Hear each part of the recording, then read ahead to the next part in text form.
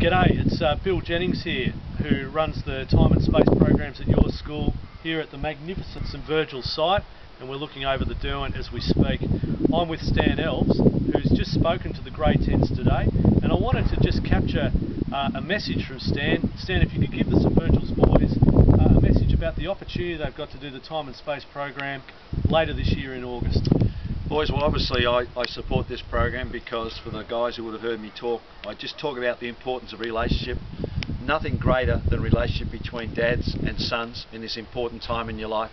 This is a fantastic opportunity. Of course it does mean that you may have to be the leader, you're the one who has to step up and initiate it, but I'm going to tell you the outcome will far exceed anything that you put in. So best wishes to all of you on this fantastic journey called life.